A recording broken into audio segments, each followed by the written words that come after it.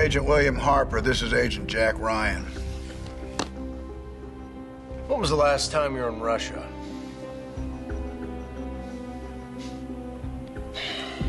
Take your time. We're not going anywhere.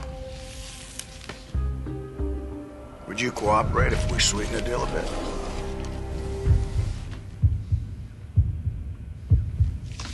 We got him.